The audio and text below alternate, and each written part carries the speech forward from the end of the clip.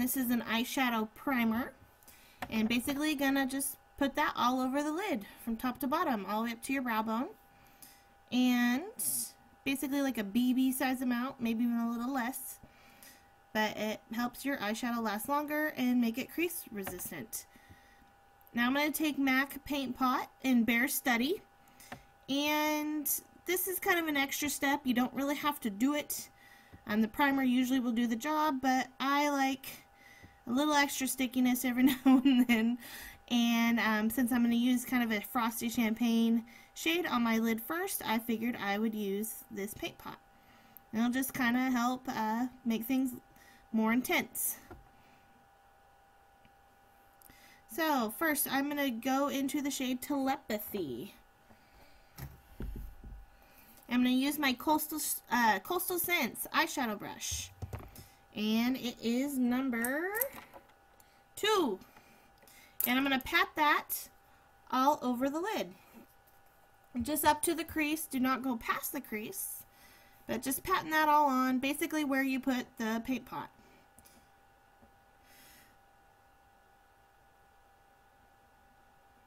Now I'm going to get the shade Entomology and it's basically a skin tone, a very, very light skin tone shade.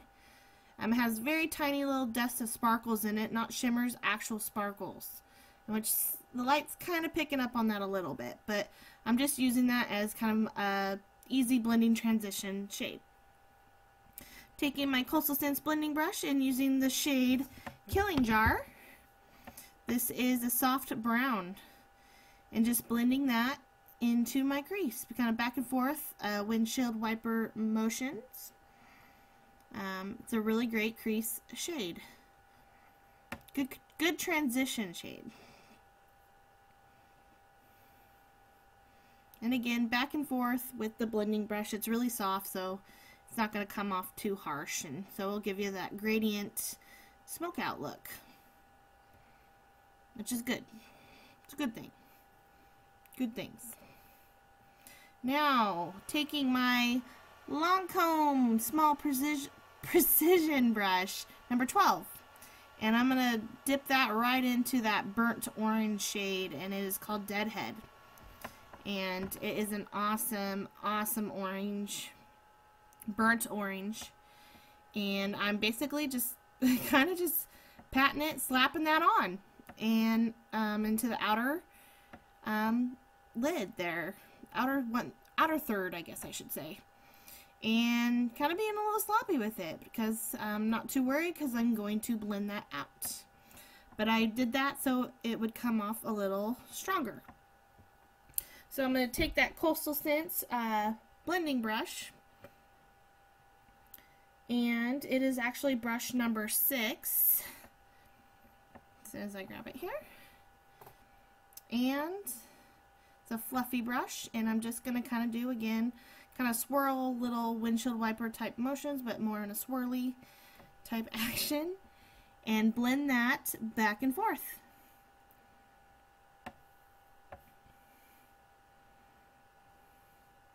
And you get a, a little more smoked out type look, a gradient look.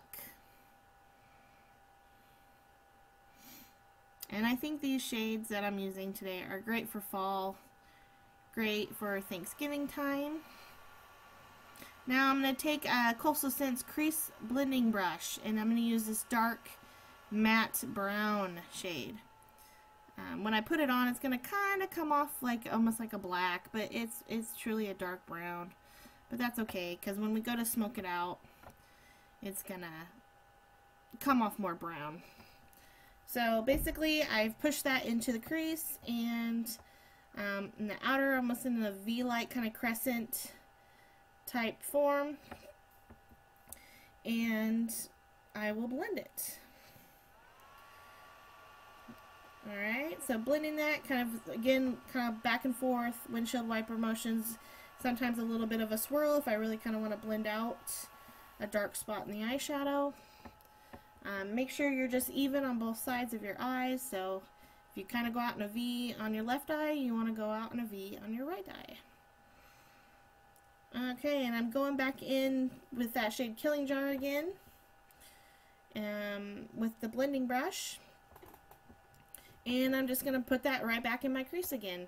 Um, sometimes when you blend shades, you can lose shades. So I'm just kind of helping that give uh, my darker shade a little bit more gradient smoked out effect. And going back in with the dark shade again, because I don't want to lose it. If you don't use it, you lose it. So just kind of back and forth. A lot of a lot of repetition here, just back and forth blending. Sometimes you gotta layer on shadows a couple times to get the look that you want. So now I'm going back in with that burnt orange shade again. Favorite kick-ass shade. I don't want to lose it in my blending, so I'm just going back in and blending it out. Pretty cool shade. Really warms up the eye. And I think those kind of orange shades are good for gray eyes too. Alright, I'm going with the champagne shade and re-putting that on. And now going in with my 24-7 Glide On pencil in Lucky. And this pencil matches the burnt orange shade perfectly. They are a match made in heaven. And I'm just putting that on my lower lash line on the outer third. Not all the way in, but just in the outer. And then I'm going to take a small uh, blending, excuse me, a small smudge brush. And it's actually Coastal Scents brush number one. It's a really teeny tiny little brush. So cute. And I'm going to dip into telepathy a little bit and put that all along the lower lash line and into that pencil and taking my Lancome brush a little bit and putting a little excess of the burnt orange on the outer so I don't lose it. So it kind of gives... Now, um, grabbing the NYX Hot Single in Whipped Cream. My all-time favorite white shadow. I use it every day. Um, I always use it and put it in the inner part of my eye. Um, I'm using a, my small smudge brush and putting it in my inner tear duct. Brightens up the eye. Kind of that's where the light's going to want to go and so you'll look more awake and again, your eyes will look bigger and brighter. Gives that little faked out effect. And I'm also going to put that onto the brow bone as well.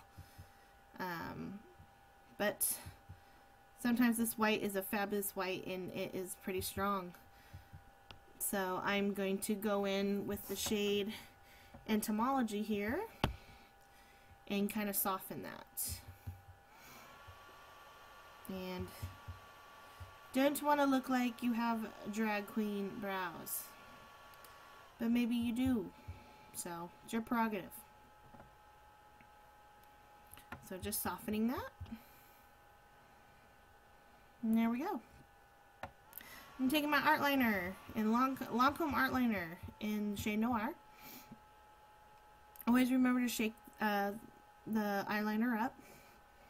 It's a liquid and it has a little ball in there to shake it up. And I'm going to do a winged cat eye. Um, I do a winged cat eye on my eyes every single day, no matter what. Um, I typically always use liquid. Um, every once in a while, I'll throw in there and use my, well, some of my gels. Um, but honestly, liquid is my favorite. It's the easiest for me. Um, I, I never use a pencil on my upper lash line. That's just a preference. That's not a rule. Um, but if you are more comfortable using a pencil, please do. Do what works for you.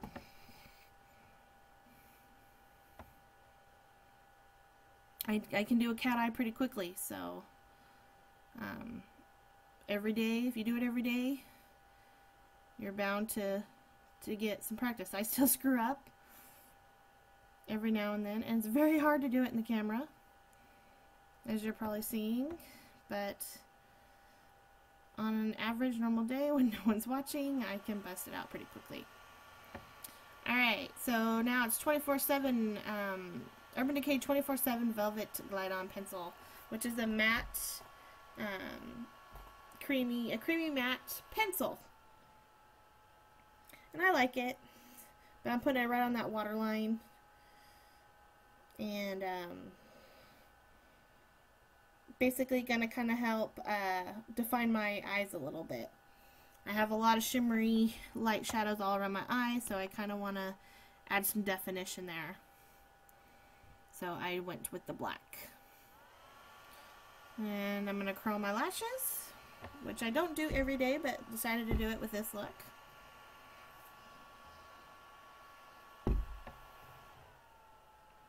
Sometimes I don't see a big difference with curling my lashes. I'm going to take um, my Lancome Cils Booster, which is an eyelash primer. And it will help condition your lashes, make them less likely to break, um, makes them longer. It doesn't make them grow, but it's going to add some thickness and volume and length. So when you put on your mascara, it has a little bit of a little help there. I'm looking for my mascara and I'm going to use Benefit, They're Real mascara. And this happens to be a sample that I'm using. It's still really good, so I'm going to use the sample still, but I have purchased uh, full size. I really liked it. I got this as a Sephora perk, a little freebie. Got to try it, never tried it before, and I really, really like it. I am always looking for the biggest, best thing in mascara. I absolutely love mascara. Mascara horror right here. So, um, yeah, bought the full size. Like it. And I don't know if you can really tell, but this mascara, if you haven't used it before, it has like these little, like almost little bristles, like spike bristles that are kind of poking out at the edge of the brush a little bit, and it kind of helps you get all your smaller lash line and uh, the smaller lashes, excuse me. Alright, now I'm going to take my Lancome Rouge in Love lipstick in 106 uh, Jolis Matins, and it is a dark coral. And now going in with my NYX Mega Shine Lip Gloss in Nude Peach. And I like a little bit of shine on my lips, a little bit of stickiness. So there you go. It's a kind of a light coral shade, so it kind of gives a nice there. I'm just kind of doing the finishing touches now. Checking things out. Make sure everything looks okay. Which I think it does. Smile, yay. And that is the look. So I hope you guys like it. And feel free to like and comment and subscribe. Thanks for watching.